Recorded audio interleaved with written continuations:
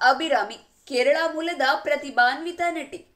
ಮಲಯಾಳಂನಿಂದ ಶುರುವಾದ cine journey ನಂತರ ಚತುರ್ಭಾಷೆಯ ತನಕ ಹಬ್ಬಿತು ಕನ್ನಡ, ತಮಿಳು, ತೆಲುಗು ಹಾಗೂ ಮಲಯಾಳಂನಲ್ಲಿ ಅಭಿರಾಮಿ ದೊಡ್ಡ ಹೆಸರು ಗಳಿಸಿದ್ರು. ಕ್ಲಾಸ್ ಪಾತ್ರಗಳಿಗೆ ಅಭಿರಾಮಿ ಹೇಳಿ ಮಾಡಿಸಿದ ನಟಿ. ಯಾವುದೇ ಪಾತ್ರ ಕೊಟ್ಟರು ನೀರು ಕುಡಿದಂತೆ ಸಲೀಸಾಗಿ ನಟಿಸ್ತಾ ಇದ್ರು. ಈ ಪ್ರತಿಭೆಯೇ ಅಭಿರಾಮಿಗೆ ಕನ್ನಡದಿಂದ ಆಫರ್ ಬರೋಕೆ ಕಾರಣ ಆಗಿತ್ತು.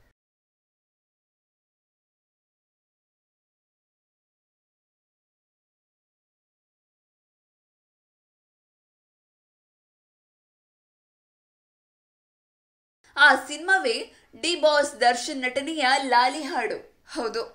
ಲಾಲಿ ಹಾಡು ದರ್ಶನ್ ನಟನೆಯ ದಿ ಬೆಸ್ಟ್ ಸಿನಿಮಾಗಳಲ್ಲೊಂದು. ಹಳ್ಳಿ ಹೈದನಾಗಿ ಗಾಯಕನಾಗಿ ದರ್ಶನ್ ಸಿಕ್ಕಾಪಟ್ಟೆ ಕಾಡ್ತಾರೆ. ಅಷ್ಟರ ಸಿನಿಮಾ ಕಾಡೋ ಇನ್ನೊಂದು ಪಾತ್ರವೆಂದ್ರೆ ಅದು ಅಭಿರಾಮಿ ಪಾತ್ರ. ಆ ಸಿನಿಮಾದ ಹಾಡುಗಳಂತೂ ರಾತ್ರೋ ರಾತ್ರಿ ಸೂಪರ್ ಹಿಟ್ ಆಗಿ ಬಿಟ್ಟಿತ್ತು. ದಿನ ಬೆಳಗೋ ಆ ಸೂರ್ಯನ ಹಾಗೂ ನನ್ನ ಹೃದಯ ಹಾಡುಗಳನ್ನು ಇವತ್ತಿಗೂ ಮರೆಯೋಕ್ಕಾಗಲ್ಲ.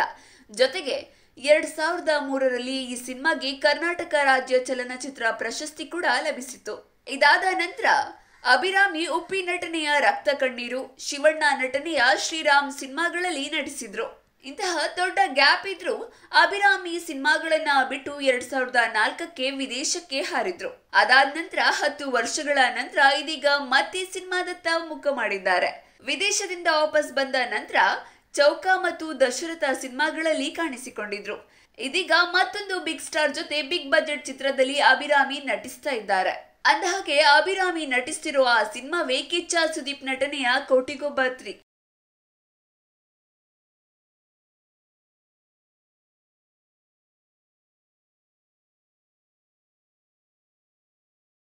ಕಿಚ್ಚನ ತಾಯಿಯಾಗಿ ಅಭಿರಾಮಿ ಸಿನಿಮಾದಲ್ಲಿ ನಟಿಸ್ತಾ ಇದ್ದಾರೆ. ಅಭಿರಾಮಿಗೂ ಕೂಡ ಕೋಟೆಗೊಬ್ಬ ತ್ರೀ ಬಿಗ್ ಬ್ರೇಕ್ ನೀಡೋ ಸಿನಿಮಾವಾಗಿ ನಿಲ್ಲಿಸಲಿದೆ ಅನ್ನೋ ವಿಶ್ವಾಸವಿದೆ.